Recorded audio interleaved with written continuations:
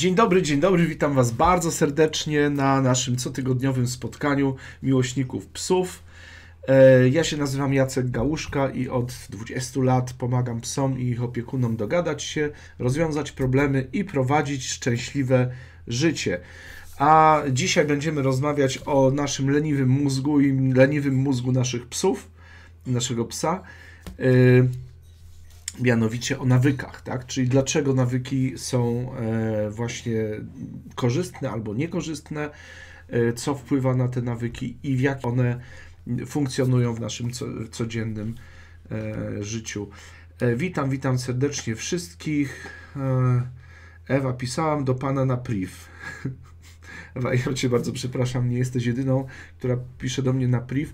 Jeżeli macie jakąś taką sprawę do mnie, to najlepiej napiszcie po prostu maila na biuromałpawesołałapka.pl bo y, mój messenger jest y, po prostu czasami tak oblężony, że ja nawet nie, nie mam czasu ani możliwości y, czytać. Czy będzie Pan prowadził szkolenia w Małopolsce? Nie wskazuje nic na to na razie, żebym miał prowadzić szkolenia w Małopolsce, ale mamy w Krakowie y, naszą trenerkę, także y, ona na, pewno chętnie pomoże. Nie mam jeszcze takich sprecyzowanych planów szkoleniowych na, na najbliższy rok wyjazdowych, więc całkiem możliwe, że coś się tam urodzi, ale to na pewno będzie, będzie ogłoszone.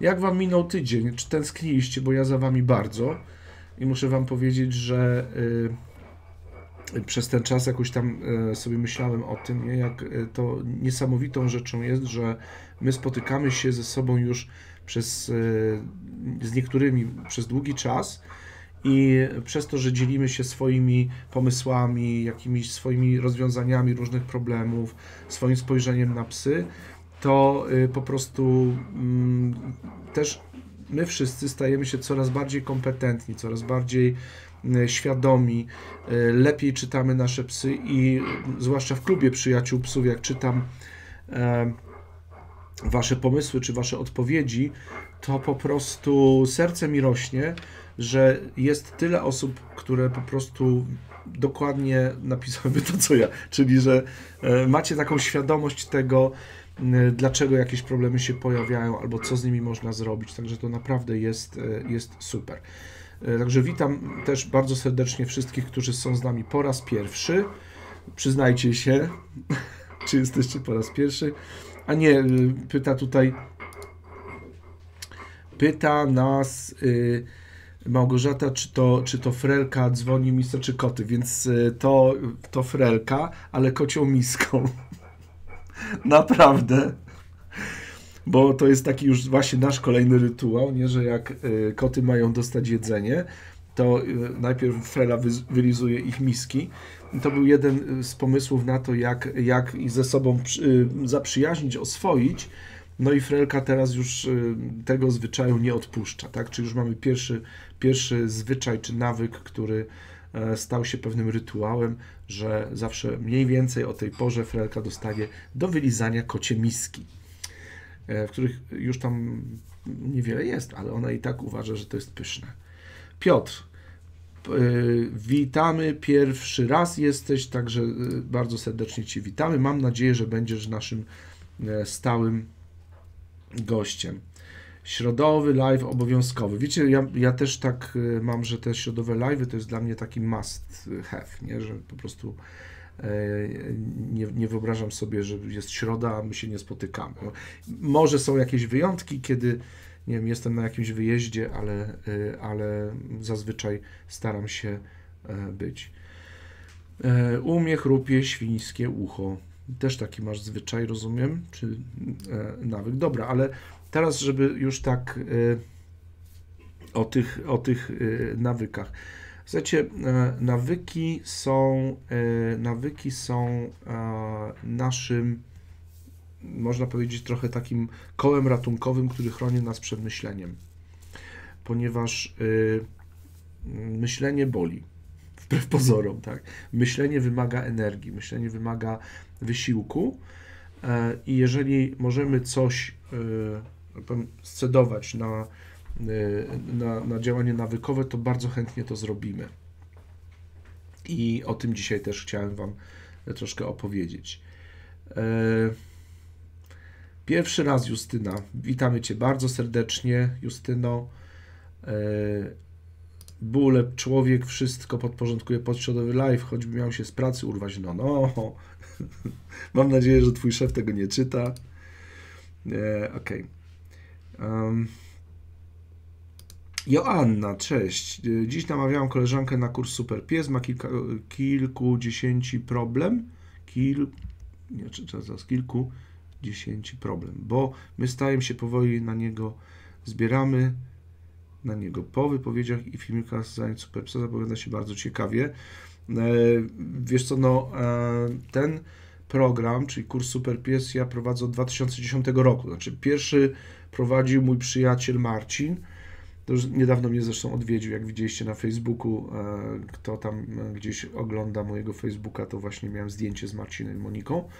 Yy, I on prowadził ten kurs, ponieważ ja miałem złamany palec i nie bardzo mogłem, dlatego że pracowałem akurat z taką suczką w Bułgarii, która była mieszanką pitbulla, znaczy ona była mieszanką mastifa i, i pitbulla albo amstafa, więc ogromny, ogromny pies i nienawidziła obcych psów. No i tak sobie z nią pracowałem, e, że staliśmy sobie przy nie, nie, niedaleko takiego śmietnika, gdzie były bezdomne psy i któryś z tych psów po prostu zaczął iść w naszym kierunku, wtedy suka wydarła w jego stronę.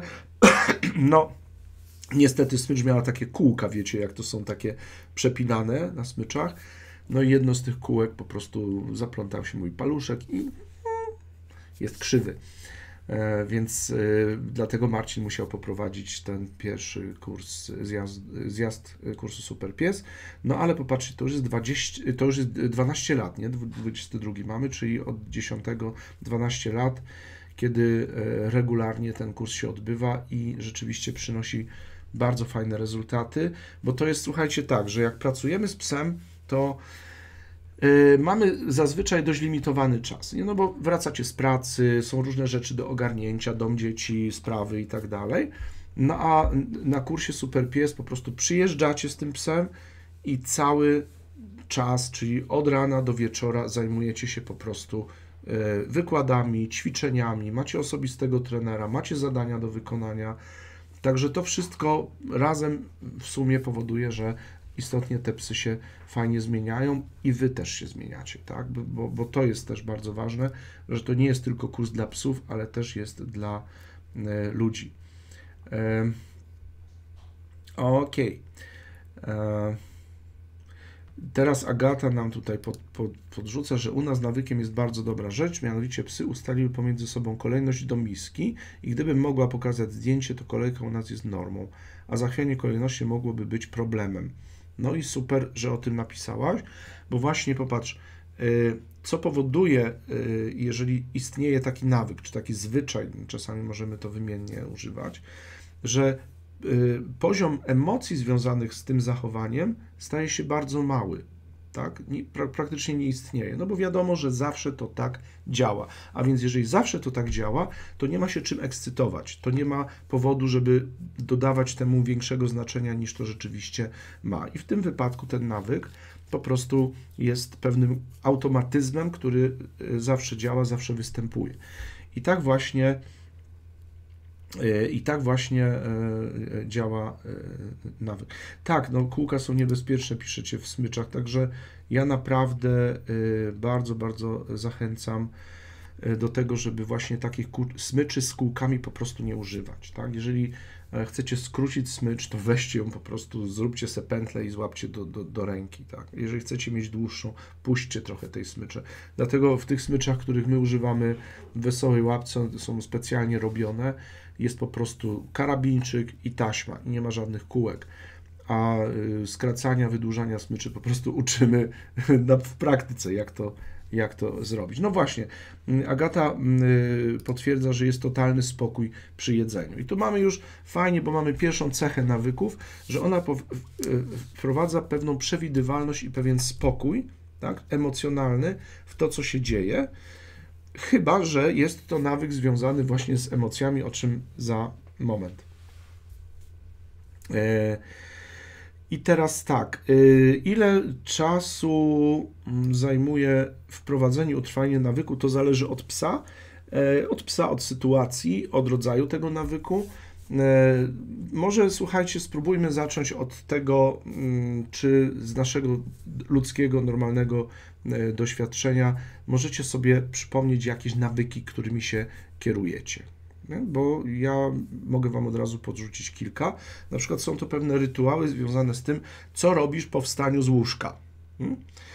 Po wstaniu z łóżka, nie wiem, idę do łazienki, prawda, biorę prysznic, myję zęby, yy, potem yy, daję, nie wiem, jeść kotom na przykład, potem yy, robię śniadanie, potem robię sobie kawę, potem przeglądam Facebooka i tak dalej. Nie, więc jest to pewien taki rytm, potem, nie wiem, wybieram się, idę do pracy, sprawdzam kalendarz, więc u każdego będzie to coś innego, ale, ale możecie zwrócić uwagę na to, że pewne czynności się po prostu powtarzają yy, codziennie. To czasami niektórzy mówią, że to jest dzień świstaka, nie? że o godzinie 14.30 potem wychodzisz na spacer, nie? jeszcze poranna kawa, jeszcze oczywiście trzeba wyjść z psem najpierw rano, potem jest y, jakiś tam, czymś się tam zajmujesz, potem o określonej godzinie jest, załóżmy, nie wiem, obiad, potem jest jakieś tam wyjście, potem są zajęcia na przykład z dzieciakami i tak dalej, i tak dalej. I cały ten rytuał, cały ten, e, ten dzień układa się według pewnego schematu, który jest często właśnie takim e, schematem nawykowym, co, co oznacza,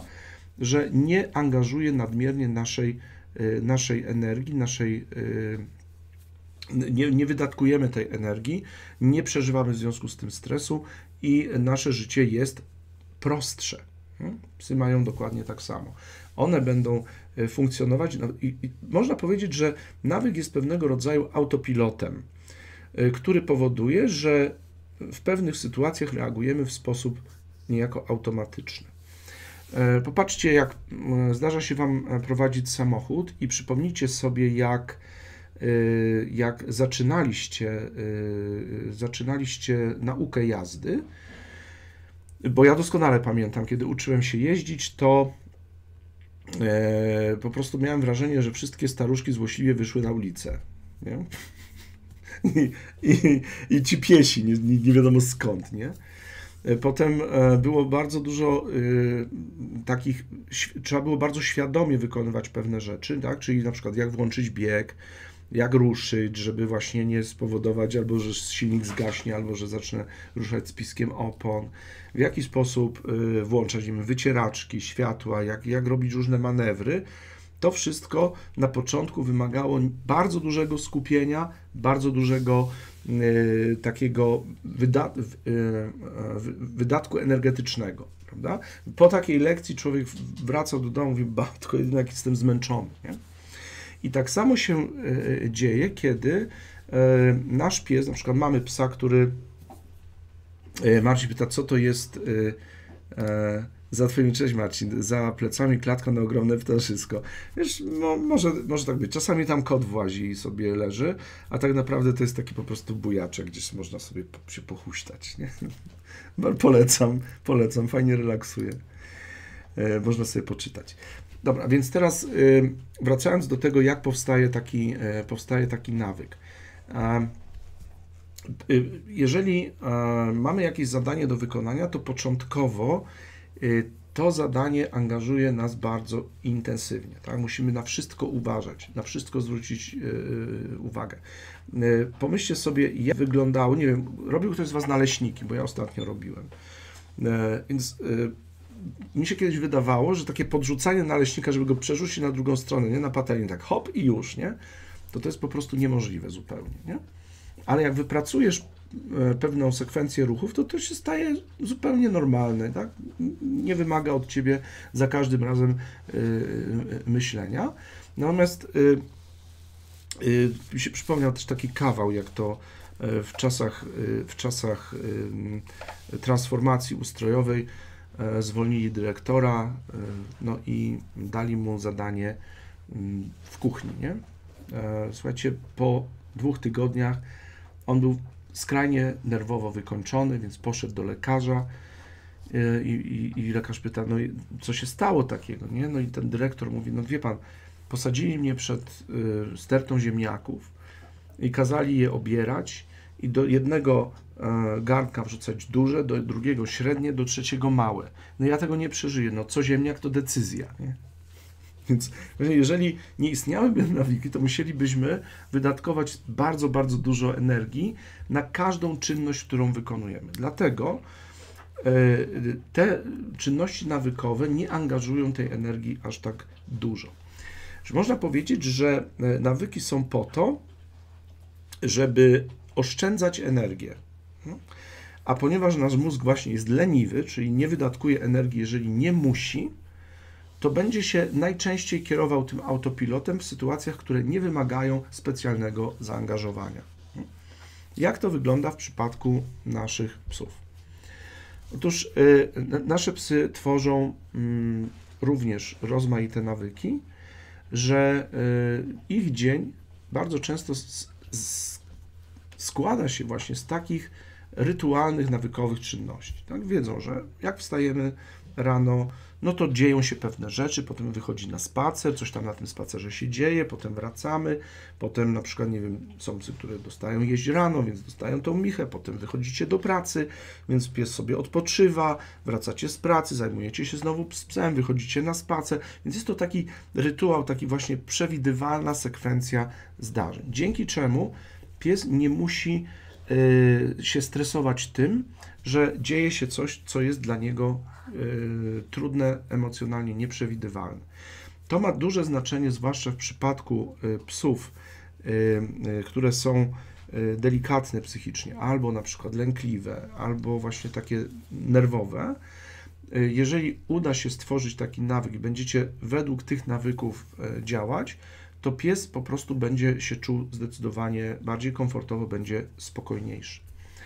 Y, I to jest wybawienie dla takich psów. Natomiast każda, y, każda zmiana, każde wyzwanie będzie związane właśnie z niepokojem albo z nadmiernym, y, albo przynajmniej z dużym stresem. Tak samo, jeżeli na przykład macie nawyk taki, żeby dzień przebiegał według pewnego schematu i coś Wam ten schemat zburzy, to musicie się do tego dostosować i to dostosowanie wymaga od Was pewnego wydatku energii. Tak? Czyli na przykład zepsuł się Wam samochód, którym zawsze dojeżdżacie do pracy, musicie skorzystać z komunikacji miejskiej, E, albo międzymiastowej i musicie jakoś to ogarnąć i czasowo, i, i, i, technicznie, więc to już powoduje, że poziom alertu się zwiększa i musicie wykonać jakby dodatkową pracę, czyli nie wiem, sprawdzić te połączenia, dowiedzieć się, z którego to przystanku odjeżdża, ile kosztuje bilet i tak dalej, i tak dalej, żeby do tej pracy po prostu dotrzeć. Więc jeżeli e, psy E, jeżeli psy e, tworzą sobie też takie nawyki, to po to, żeby właśnie oszczędzać energię. E, patrzę sobie na Wasze tutaj pytania. Mm, Marta, Ja właśnie miałem operację na palec. Długa taśma na spacerze z kodą się zaplątała i ręka niesprawna. Ojejku. Płytka tytanowej, cztery śruby w paliczku prawej ręki. Wszystko w Wigilię. A kodzia tego samego dnia staw łokciowy strzaskany. Dziś była pierwsza operacja, czyszczenie z odłamków, śrubowanie łokcia, prawie 3 godziny. Druga operacja 4-6 tygodni. Prosimy o dobre myśli dla kodzi. No, wysyłamy same dobre myśli i, i, i mnóstwo y, pozytywnych wibracji. No ale y, właśnie y, bardzo to przykre, że, że, że ci się zaplątała właśnie taśma i, i, i miałaś aż tak, tak poważny wypadek. Dlatego, słuchajcie, mm, to może to troszkę na, na, na marginesie, jeżeli używacie jakiegoś sprzętu, to, to bardzo Was proszę, niech to będzie najlepszy, na jaki Was stać i zawsze zwracajcie uwagę na bezpieczeństwo. Znaczy, wymyślcie sobie najgorszy scenariusz, co się może stać, Y, i sprawdźcie, czy ten sprzęt temu podoła. Tak? Na przykład jak macie psa, y, jest tutaj widziałem Marcin, nie? Y, Marcin Szewczak, którego pozdrawiam. Na przykład jeżeli masz psa w helikopterze, tak? bo kolega z GoPro, nie? i mamy z tym psem zjechać na, na, na, z helikoptera na, na linię, no to nie, nie może tak być, że karabinczyk, który nas ma utrzymać, będzie po prostu kupiony za 4 zł w Castoramie, bo może się okazać, że on tego nie wytrzyma. Więc tak samo jak skaczesz ze spadochronem, no to musisz mieć pewność, że ten y, sprzęt, który, którego używasz, po prostu będzie w stanie y, zapewnić Ci bezpieczeństwo, czyli że nie zginiesz przy tym, tak? albo przynajmniej mieć duże prawdopodobieństwo, że tak będzie. Dlatego, dlatego proszę Was, używajcie najlepszego sprzętu, na jaki Was stać y, i zwłaszcza jak macie duże psy albo silne psy, to, to, to, to ma szczególne znaczenie. Anna pisze, że nasz pies nawykowo wieczorem, jak wszyscy już są w łóżkach, robi obchód, dopiero się kładzie. Jak ktoś z, z nade mną ma, czeka i widać niepokój. No to, y, to, to, aha, jak rozumiem, kogoś z Was nie ma, y, to nie wiem, nie, nie do końca rozumiem, że szczeka, czy widać niepokój, że jest niecierpliwy. Tak, czyli po prostu znowu stworzył się pewien schemat, pewien, pewien nawyk, który działa na zasadzie autopilota, czyli wszystko jest dobrze, jeżeli ten schemat się nie zmienia. A więc już powiedzieliśmy o tym, że e, pewne schematy, pewne nawyki porządkują życie psa, uspokajają go, tak, bo on nie musi e, podchodzić emocjonalnie do, do, do każdej rzeczy, która się wydarza i powodują, że generalnie jego mm, poziom reaktywności się zmniejsza. Więc jak macie psa reaktywnego, psa, który nie potrafi odpoczywać, psa, który po prostu jest cały czas bardzo y, taki pobudzony, to y, przewidywalność, wytworzenie pewnych rytuałów jest naprawdę bardzo, bardzo dobrym pomysłem. Tak? I trzymanie się tego, bo to nie wystarczy tak, że my sobie pomyślimy o tym, że stworzymy nawyk, Y, ale y, trzeba po prostu sobie z tego y, no, korzystać. Mhm.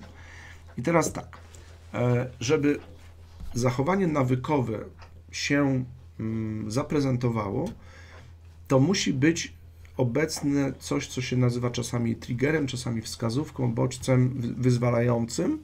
Chodzi o to, że z nawykiem często jest związany jakiś rodzaj emocji, jakiś rodzaj e, e, nagrody, też, tak, który powoduje, że ten nawyk się mm, powtarza i że ten nawyk staje się pewnego rodzaju sposobem na życie. E, dlatego, że e, jeżeli na przykład macie taki nawyk, nie wiem, palenia papierosów, e, to niektórzy mówią nauk, tak, palenia, ale to jest tak naprawdę nawyk. Czyli pojawia się jakiś bodziec, jakiś trigger, Załóżmy w jakiejś sytuacji zewnętrznej, to może być tak, że nie wiem, poranna kawa i papieros. Nie? Czyli poranna kawa to jest ten trigger, że bierzemy papieros. I ktoś Wam powie, zmień ten nawyk. Nie? No słuchajcie, rzucanie palenia jest banalnie proste. Ja to robiłem setki razy. Nie? Ale oczywiście żart, tak? Nie, no nie jest to aż takie proste. Czyli jeżeli pies wykształcił sobie pewne nawyki, to ich zmiana nie jest wcale taka banalna i prosta, tak samo jak tak samo jak właśnie e, w przypadku naszych, naszych nawyków i zachowań, takich jak e, na przykład e, palenie papierosów. I teraz jak, jak to działa? Spróbuję Wam udostępnić może mój ekran. Nie, nie wiem, czy to się uda. Pewnie się uda. Zobaczmy.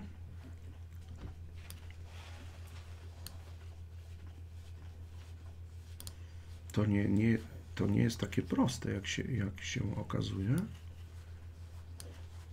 Muszę tutaj e, kliknąć, czy tam w międzyczasie Wasze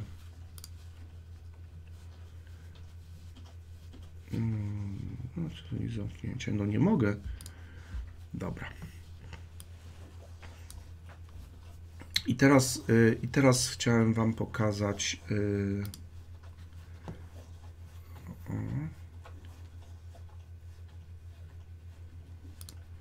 Nie, nie, nie, nie, nie wiem, co on tutaj próbuje robić, ale, ale okej. Okay. Dobra.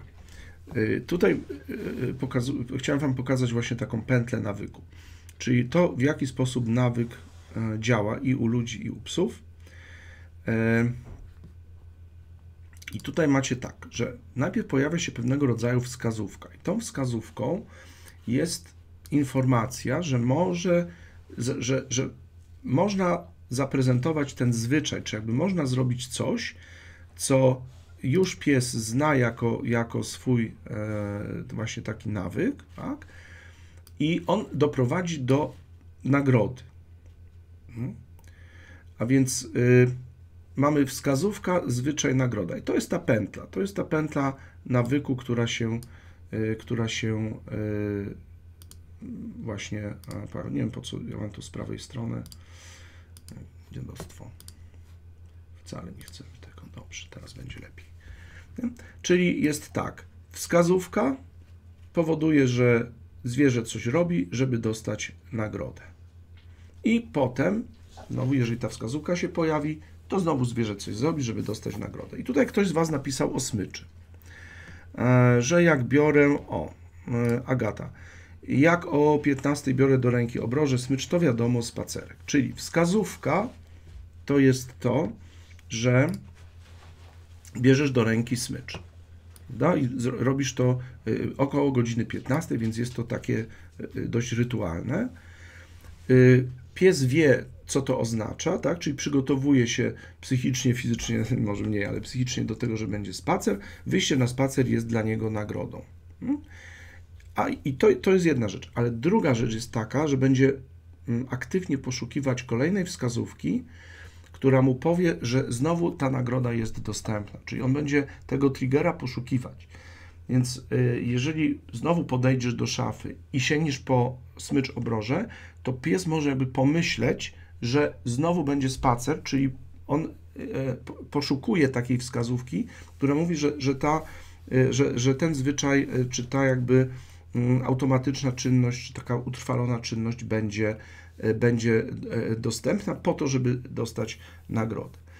I tutaj mówimy o takim, takiej pętli nawyku na razie dość neutralnej, ale teraz pomyślcie sobie, co by się stało, jeżeli tym nawykiem jest na przykład obszczekiwanie ludzi, obszczekiwanie psów, rzucanie się na kogoś i tak dalej.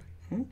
Więc pies e, odczuwa pewien rodzaj dyskomfortu, na przykład w kontakcie z innymi e, psami lub e, z, z ludźmi, którzy, których nie zna, którzy się zbliżają i rzuca się w ich kierunku, szczeka.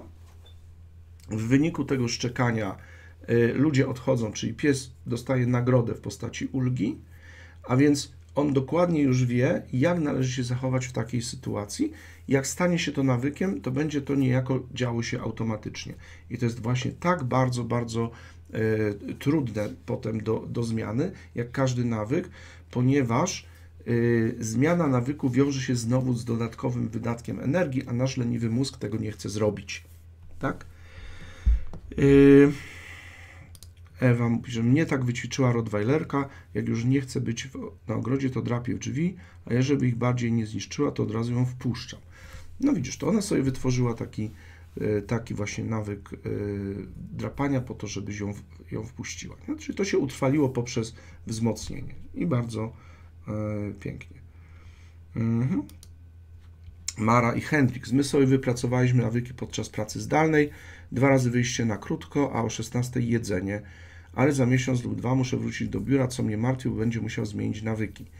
No i tutaj e, właśnie pojawia się kolejne zagadnienie, e, mianowicie jak to zrobić, tak? Bo jeżeli do tej pory wszystko było przewidywalne i nagle przestanie być przewidywalne, czyli te zachowania nawykowe przestaną przynosić spodziewany efekt, czyli spodziewaną nagrodę, to pies zacznie przeżywać niepokój i będzie starał się zrobić coś, żeby ten niepokój zmniejszyć.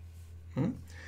E, znowu, żeby odwołać się do jakiegoś doświadczenia, które może być dla nas bardziej takie mm, łatwe do wyobrażenia sobie. No wyobraźcie sobie, że ktoś, nie wiem, mm, ma y, stres związany z pracą. Wraca do domu, y, sięga po alkohol, pije sobie, nie wiem, dwa kieliszki wina albo, albo y, nie wiem, drinka, whisky, co tam, cokolwiek, czuje ulgę. Nie? I teraz, co jest tutaj triggerem? Nie? Mm, stres w pracy od razu zapowiada to, że ok, jak wrócę do domu, sięgnę po alkohol, w nagrodę poczuję ulgę. Więc ten stres wywołuje właśnie tą pętlę, czyli mo można po prostu się w tej pętli zamknąć, no to oczywiście e, doprowadzi do e, e, przykrych konsekwencji. E, tak samo na przykład piszesz tutaj e, ta szara. Mój niestety liże łapę. Pies, który nie potrafi sobie poradzić z, z, emocjami, czyli na przykład zdarzyło się tak, że ten stres jest duży, on szuka jakiegoś rozwiązania, szuka jakiegoś wyjścia i na przykład zaczyna lizać łapę. To lizanie łapy ma jakby dwa skutki. Pierwszy z nich to jest taki, że miejscowo, e, w miejscu, w którym e, pies sobie rozlizuje skórę tak do, wiecie, do, do, do żywego mięsa, jak to mówią, tam się wytwarzają substancje, które są podobne do morfiny, a morfina jako opiat ma taką właściwość, że likwiduje ból. Likwiduje ból w sensie fizycznym, ale też likwiduje ból w sensie psychicznym, emocjonalnym. I czyli, czyli pies po prostu czuje się lepiej. Czyli to, to jest działanie euforyzujące, takie właściwie sedacyjne bardziej, nie? czyli uspokajające. Natomiast w miejscu, w którym się wydzielają te opiaty, pies nie czuje bólu, czyli on nie czuje, że sobie zrobił krzywdę, ale czuje właśnie ulgę, która jest związana z tym wydzielaniem się e, endogennych opiatów. I jeżeli e, nic z tym nie zrobimy, to coś, na co on wpadł, może stać się dla niego właśnie takim nawykiem, po który będzie sięgać już nie tylko w jakichś sytuacjach konkretnych, ale w każdej sytuacji, w której on po prostu poczuje się gorzej. Bo to jest najłatwiejszy dostępny sposób po to, żeby uzyskać nagrodę. I nasz leniwy mózg, o którym dzisiaj mówimy, zawsze będzie, będzie sięgał po takie rozwiązanie, które najprościej, najbardziej y, z najmniejszym wydatkiem energii da mu spodziewaną y, nagrodę. Nie? I tak samo na przykład y, dobrym nawykiem, prawda, mogłyby być ćwiczenia dla, dla ludzi też, tak? Mogłyby być ćwiczenia fizyczne, odpowiednia dieta, dużo ruchu, spacery i tak dalej, nie? Ale y, ludzie często zamiast tego sposobu wybiorą coś, co nie wymaga aż takiego wysiłku, a może dać porównywalny efekt jak na przykład 20-minutowy bieg. Nie? Bo jak u biegaczy też się wydzielają te przyjemne substancje w mózgu, więc też ma, ma takie działanie y, y, właśnie trochę euforyzujące, trochę relaksujące. Ale łatwiej jest usiąść przed telewizorem i wypić, nie wiem, pół butelki wina, niż y, przebrać się i pobiegać sobie 20 minut, bo to wymaga większego wysiłku. Dlatego niektórzy będą preferowali właśnie to, co mniejszym wysiłkiem da przynajmniej na krótką metę jakąś tam spodziewaną nagrodę. Dodatkowo mamy do czynienia z czymś, co się nazywa gradient wzmocnień, a mianowicie ta zasada mówi, że jeżeli z jakąś y, czynnością lub zachowaniem wiążą się konsekwencje pozytywne oraz negatywne, to y, organizm, czy zwierzę, czy człowiek będzie wybierać to, co jest bliższe w czasie. Przykładowo, sięgnijmy znowu do, sięgnijmy znowu do alkoholu. E, z piciem alkoholu wiąże się to, że człowiek od razu odczuwa pewny, pewien rodzaj, nie wiem, rozluźnienia, albo humor mu się poprawia, albo czuje się lepiej. natomiast w dłuższej perspektywie no, może, odczuwać dyskomfort następnego dnia zwany kacem, a w jeszcze dalszej perspektywie może dostać marskości wątroby, no niestety, e, która jest bardzo poważną chorobą. Ale mimo tego prawda, człowiek wybiera to, co jest bliższe w czasie, czyli wybiera na przykład alkohol, który będzie dla niego po prostu doraźnym środkiem relaksującym. E, odwrotnie może być na przykład z wizytą u dentysty, bo e, tam znowu jest tak, że skutek bliższy w czasie no nie jest zbyt komfortowy. Tak? No ja mam akurat cudowną dentystkę Kasię, którą pozdrawiam, która akurat sprawia, że jak ja tam nie jestem, to się, to się śmieje po prostu na tym fotelu. Natomiast y, wcześniej mi się to raczej kojarzyło z czymś nieprzyjemnym, no bo boli, bo, bo prawda, są te jakieś dziwne narzędzia, prawda, ktoś ci grzebie w, w ustach, no, zapachy i tak dalej, no przykre. Ale w perspektywie dalszej, no zdrowe, fajne zęby, możesz gryźć, uśmiechnąć się miło do kogoś, prawda? Więc to jest, to jest zdecydowanie korzystne. Ale wielu ludzi wybiera to, co jest bliższe w czasie, więc... Yy, nie idzie do dentysty właśnie z obawy przed tym dyskomfortem, jaki jest bezpośrednio związany z tym. Tak? I y, konsekwencje wtedy są bardzo y, trudne.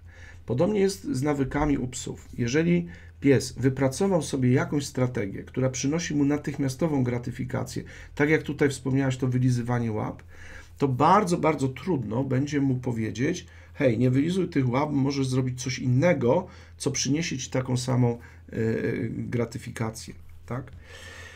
Y, dobrze, ja tu się rozgadałem, a y, przecież te nasze spotkania na żywo mają też dać, dać Wam szansę na to, żebyście coś od siebie tutaj podrzucili. Mhm.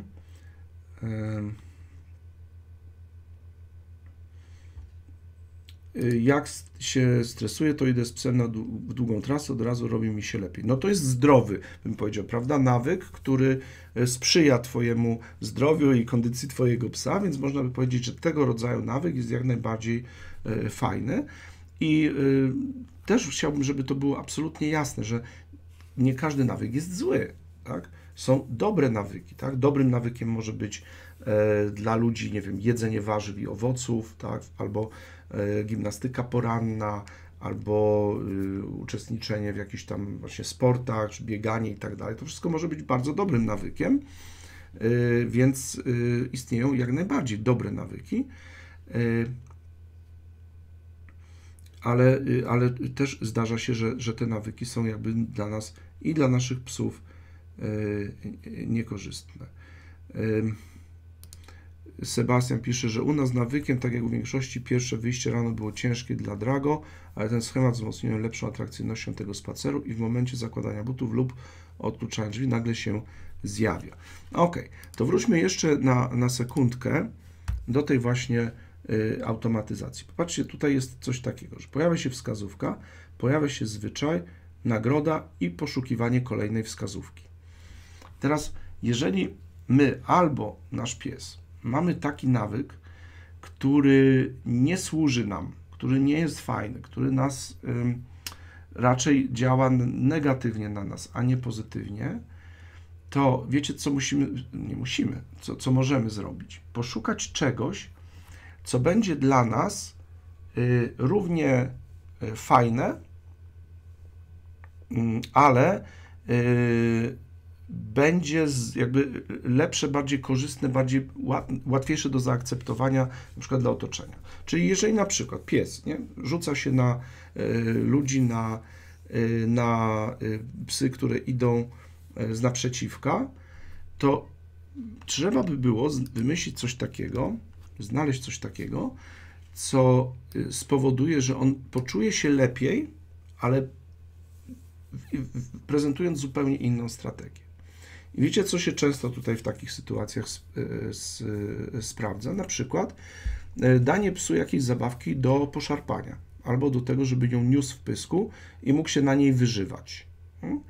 Bo wtedy też pies rozładowuje w ten sposób swoje intensywne emocje, a nie robi tego rzucając się na innego psa. To może być taki pierwszy krok. Nie? Czyli jak pies widzi psa innego, to jest ta wskazówka, i utrwalił się zwyczaj pod tytułem dawaj zabawkę. Nie? Bierze zabawkę w pysk, szarpie ją, mija innego psa, odczuwa ulgę, odczuwa frajdę związaną z szarpaniem zabawki i zmienia się zachowanie psa względem tego drugiego, e, drugiego prawda? Czy, czy psa, czy, czy, czy człowieka. To jest taki prosty przykład tego, jak można podstawić nie? E, jedno zachowanie innym. Warunek jest taki, żeby pies po prostu widział taką samą lub większą atrakcyjność i żeby było to dla niego tak samo lub podobnie łatwe do wykonania. Czy może być to coś trudniejsze do wykonania dla psa, no żeby zmienił to zachowanie? Może być, może być, pod warunkiem, że nagroda będzie większa niż się pies jej spodziewa. Czyli gdyby się tak zdarzyło, że mm, wy macie jakiś taki na przykład nawyk pod tytułem, nie wiem, są takie denerwujące nawyki. Rozrzucasz skarpetki po całym domu. Nie wiem. Tak? Znaczy, nie masz nawyku sprzątania na przykład po sobie. Yy, I bo nie myślisz o tym, nie? Ale teraz pojawi się powód, dla którego chcesz to zrobić. I, yy, bo na przykład możesz sobie. Yy, są różne takie prawda, metody motywowania dzieci, że na przykład zbierają jakieś tam serduszka albo zbierają jakieś żetony. Jak zbierają ilość tam żetonów, to za to mogą sobie powiedzmy uzyskać jak, jak, jakiś taki ekstra bonus, nie wiem, PlayStation 3, nie wiem czy jest, ale, ale wiecie o co chodzi, nie? To wtedy taki yy, yy, dzieciak będzie się starał, żeby uzyskać jak najwięcej tych bonusów, bo za to może dostać coś naprawdę, naprawdę super wartościowego. Nie chcę porównywać oczywiście dzieci do psów, bo to nie, nie, nie jest takie, takie bezpośrednie, ale pewne zachowania dla nas, ssaków, są po prostu podobne. Jeżeli twój pies wie, że jak się opanuje, na przykład przy innym psie, to na nagroda będzie zdecydowanie większa niż to, czego się spodziewa, to on przemyśli, czy przypadkiem nie warto jednak tego zrobić, skoro ta nagroda jest taka super. Żeby nagroda była super, to ona musi się pojawiać rzadko. Jak się będzie pojawiała często, to, to, to nie będzie super. Hmm?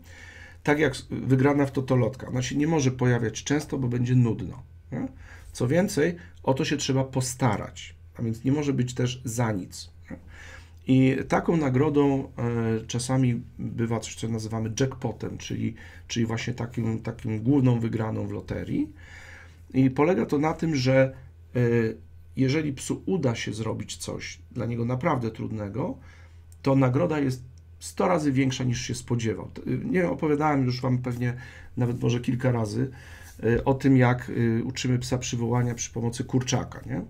Że on się spodziewa, że dostanie chrupka, a dostaje wędzonego kurczaka, czy tam pieczonego kurczaka i to jest dla niego po prostu takie wow, że będzie wiele razy sprawdzał, czy tym razem to znowu nie będzie ten kurczak, tak, jako nagroda. Tak samo, jeśli człowiek wygra 10 e, zł w lotto, to będzie skłonny wiele razy e, kupić los właśnie po to, bo, bo, bo uwierzył, że, że może wygrać milion. Nie?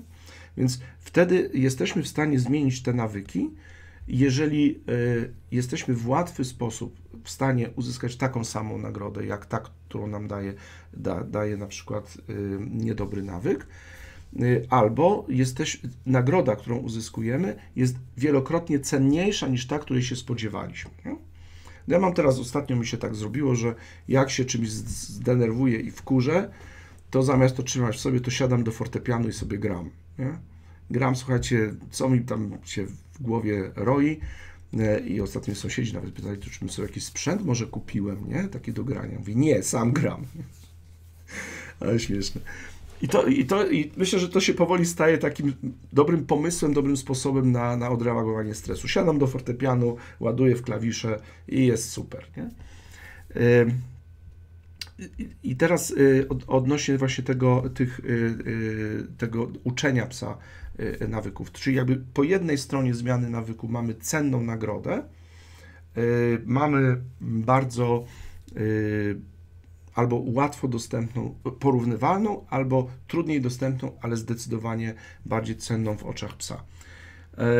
Jak nie wiecie, co może być dla psa cenniejsze, to pomyślcie bo żyjąc z, z waszym psiakiem przez cały czas, 24 na dobę, na pewno wiecie, co on lubi. Nie?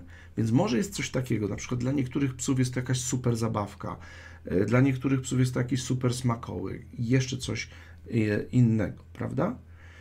E, Jolanta, jaka jest różnica między rutyną a nawykiem? Wiesz co, rutyna, myślę, to, to jest też rodzaj nawyku, tak? Czyli nawyk bardziej bym powiedział, że dotyczy konkretny, konkretnego, konkretnego bodźca, a rutyna to jest powiedzmy pewien zestaw y, czynności. To, ale myślę, że to nie jest specjalnie y, aż tak istotne, żebyśmy się wdawali w, w bardzo takie e, wiesz, akademickie rozważania, czym się różni rutyna od nawyku. Myślę, że, że jakoś to łapiecie, nie? Że, że nawyk to jest coś, co robimy niejako automatycznie. Tak samo jak rutyna, można powiedzieć. Rutyna jest cyklem nawyków. Nie? Co, coś robimy rutynowo, to znaczy nie kosztuje nas to dużo emocji, dużo energii, prawda? Mm, ok, i teraz y, coś tam. Y, co z wygaszaniem przy pomocy P- i P przy zmianie nawyku? No więc właśnie. Paweł. I teraz popatrz. Y, mówiłem, czy popatrzcie, no, bo to tak jakbym z Pawłem tylko dyskutował. Jakby z jednej strony macie to pozytywne, nie? czyli jeszcze raz powtórzę, bo myślę, że to jest ważne. Przy zmianie nawyków, które, które nam się nie podobają, Ważne jest to, żeby nagroda była tak samo łatwo dostępna jak obecnie, ale pod warunkiem, że pies wykona coś e, innego, coś, co nam się podoba. I jeżeli będziemy to powtarzać, to stanie się to nawykiem, bo stworzenie nawyku wymaga powtórzeń, to się nie, nie stanie po jednym razie. I tak samo zmiana, no nie jak mówi ktoś, pies, pies ćwiczył się w jakimś nawyku przez 3 lata, a ktoś oczekuje, że na jednej konsultacji to zmienię. No nie będzie tak, przysięgam. Zmiana wymaga czasu. Y, I druga rzecz, że nagroda jest zdecydowanie bardziej cenna i pies gotów jest zrobić coś wymagającego wysiłku, żeby tą cenną nagrodę uzyskać. A druga strona, ona jest taka bardziej, bardziej właśnie to jakby nawiązująca do tego, co Paweł zapytałeś, y, to jest coś takiego jak instynkt samozachowawczy. Jeżeli dany nawyk e, jest szkodliwy dla, y, dla organizmu i uruchomi się instynkt samozachowawczy, to ten nawyk może zostać natychmiast y, y, jakby zaniechany. Znowu przykład. Wyobraźcie sobie, że ja, ja znam to z, z, z, doświadczenia. Znam osobę, która na przykład paliła papierosy przez 50 lat. 50 lat, tak? I wyobraźcie sobie, że dowiedziała się, że ma nowotwór z dnia na dzień rzuciła to palenie natychmiast. Nie było żadnego nikoretu, wiecie, jakichś tam innych tabletek, nic. Z dnia na dzień. Nie? Dlaczego? Ponieważ yy, w jej przekonaniu, i zresztą słusznie, tak, palenie wpływa na, na, na, na rozwój nowotworów. Skoro jestem tak poważnie y, chorą osobą, to y, rzucam palenie natychmiast, z dnia na dzień. Just like that. Pach, nie? Nie pali.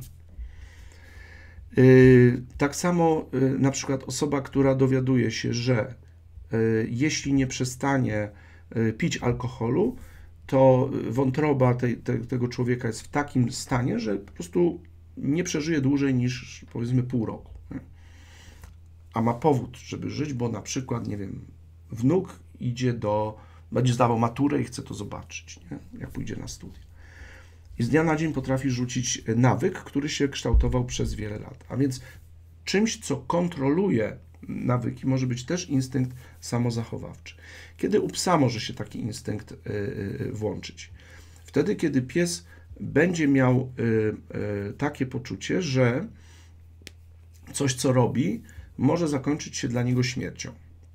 I to wcale nie oznacza, że to wy, wy macie, nie wiem, z nie wiem, zrobić coś temu psu tak, żeby go doprowadzić do krawędzi życia i śmierci i żeby wam to do głowy nawet nie przyszło.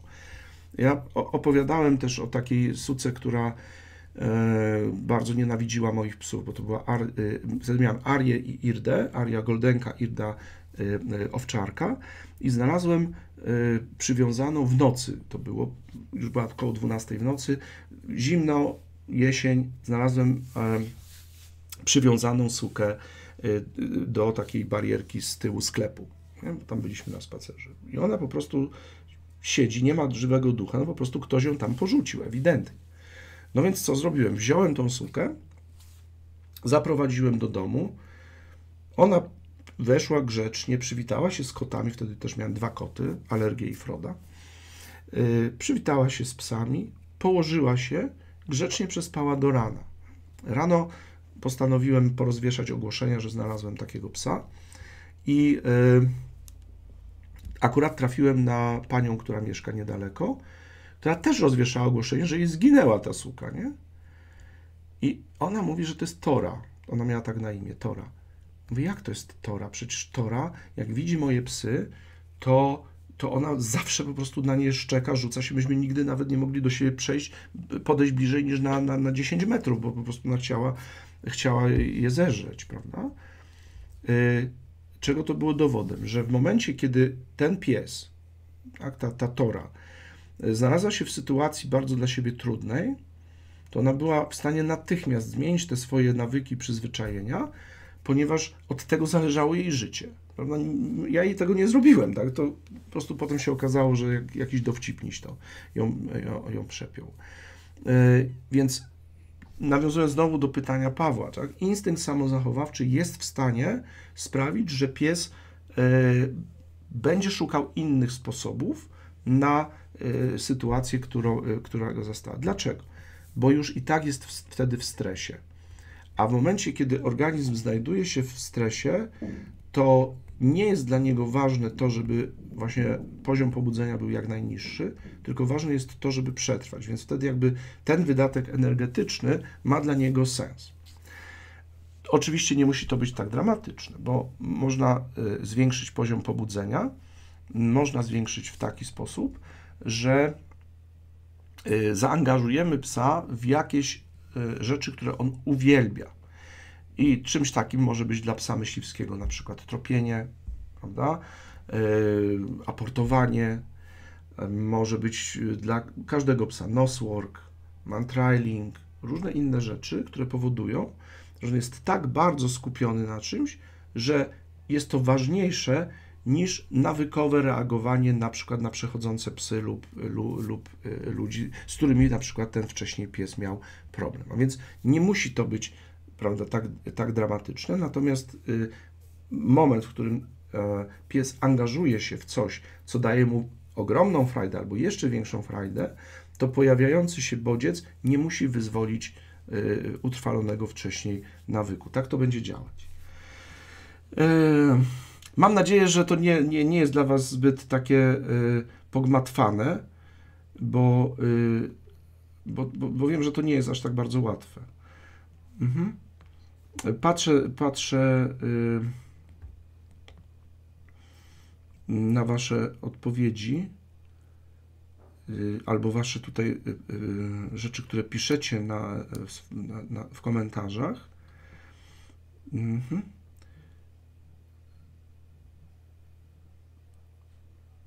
ile czasu mniej więcej, to pyta Natalia, ile czasu mniej więcej może zająć psu oduczenie się bycia reaktywnym do innych psów. Pies niepewny, roczny owczarek, dziewczynka, wygląda to jakby chciała innego psa zabić, ale to nie jest agresja. Słuchaj, to może być nie agresja, tylko to może być e, frustracja, tak? E, więc e, czasami właśnie psy tak bardzo chcą nie? E, dojść do innego psa, ale nie mogą, bo trzymasz na smyczy, że wygląda to na zachowanie agresywne, a tak naprawdę jest to po prostu efekt frustracji. Więc, y, więc y, nie, nie przyklejałbym aż takiej łatki od razu. Poprzednio mówiliśmy o tym, nie? czy to jest agresja, czy czym się różni agresja od reaktywności. Y, I ile to zajmuje czasu, to zależy naprawdę od wielu rzeczy. To zależy od tego, jaka jest nagroda funkcjonalna, czyli co pies sobie uzyskuje przez to, ile ty masz czasu na to, żeby z tym psem pracować, jak to robisz, e, jakie metody zastosujesz i e, ewentualnie czy e, będziesz działać jednotorowo czy kompleksowo. Z mojego doświadczenia wynika, że bardzo często w pozbywaniu się tego typu problemów, czy jakby w zmianie zachowania względem innych psów, pomagają właśnie odpowiednio przeprowadzone spacery. Więc jeżeli Cię to interesuje, to tak, jeśli jesteś w klubie przyjaciół psów, to tam znajdziesz sobie właśnie taki materiał, który się nazywa terapeutyczne spacery z psem. On jest dostępny w klubie przyjaciół psów dla klubowiczów.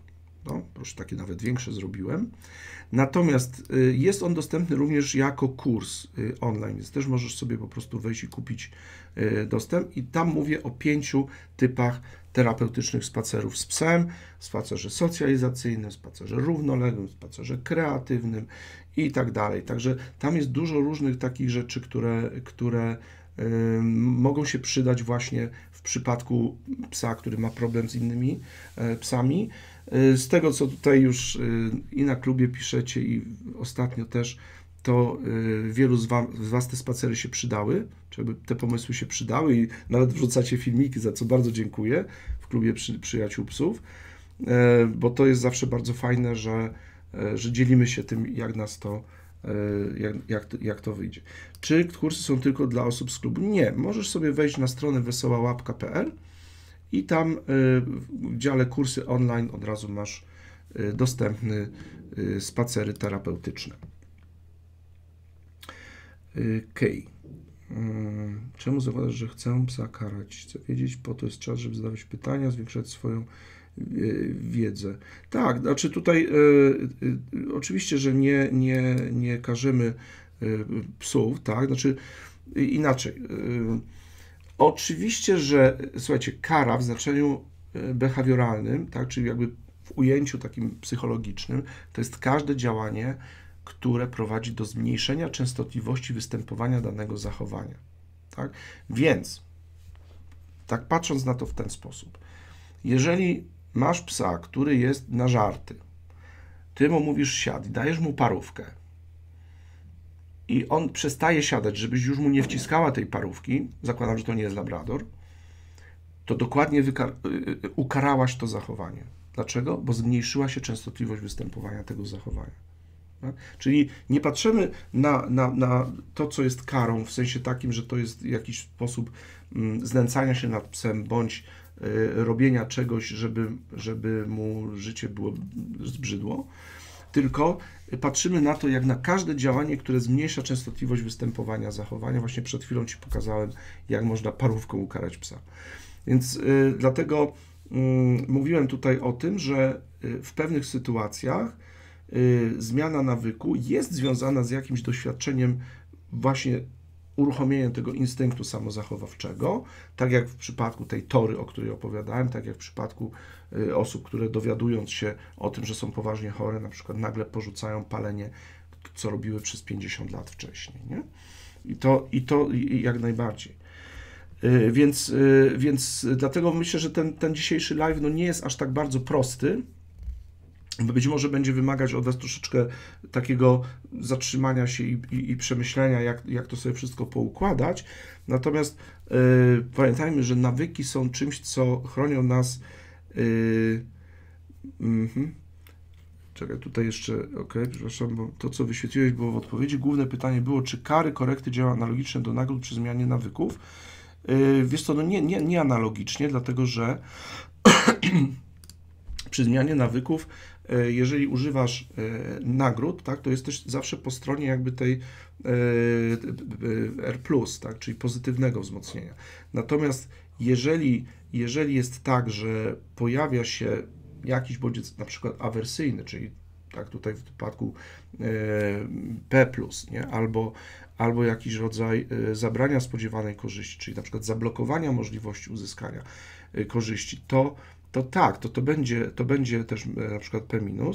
I tak samo no, próbowano e, różne nawyki zmieniać, e, podając na przykład jakieś tam środki awersyjne u ludzi, nie? Też na przykład leczon, próbowano leczyć ludzi z nawyku palenia tytoniu, podając środki wymiotne, także po, po albo tak samo jest taka, taki lek jak Esperal, nie wiem, czy się go jeszcze używa, ale kiedyś to to, to było tak, że jeżeli e, ktoś, e, mm, kto miał, e, to się jakoś tam wszywało pod skórę, tak, że, się, że, że miał wszyty ten esperal i spożył alkohol, to po prostu wymiotował bardzo gwałtownie. Czyli to miało być tym doświadczeniem awersyjnym związanym z piciem alkoholu, po to, żeby zmienić ten nawyk. No efekty były nieraz takie, że ludzie sobie wydłubywali właśnie ten lek, po to, żeby móc pić, nie? Więc to gdzieś tam właśnie ta pętla nawyku siedzi bardziej w głowie niż, niż w tym, yy, niż, niż w yy, tym, co jest poza nią. Stary, dobre, Sperardo, dzisiaj mam blizny. Rozumiem, że wydłubałeś go skutecznie. Znaczy, trzeba znać trochę Pawła, żeby wiedzieć, że on jest po prostu takim jajcarzem. Dobra, kochani. Myślę, że, że yy, troszkę sobie tutaj o, tych, o tym leniwym mózgu i, yy, i o, o nawykach porozmawialiśmy. Bardzo serdecznie Wam dziękuję. Oczywiście nieodmiennie zapraszam do klubu Przyjaciół Psów, bo to nie jest tylko zbiór różnych filmów i, i materiałów, ale przede wszystkim to jest cudowna społeczność na Facebooku, ktoś, to powiedział, że jest taka właśnie familiarnie, że my sobie nawzajem tam pomagamy i, y, i potrafimy się cudownie wspierać i dzielić się naszymi sukcesami, więc bardzo, bardzo Was serdecznie zapraszam do klubu Przyjaciół Psów i oczywiście też, y, jeżeli macie problem ze spacerami, to, to y, do tego kursu spacery terapeutyczne. A tymczasem życzę Wam dobrego wieczoru, dobrej nocy, dobrego tygodnia i widzimy się oczywiście jak zwykle za tydzień. Trzymajcie się, kochani. Do zobaczenia. Pa.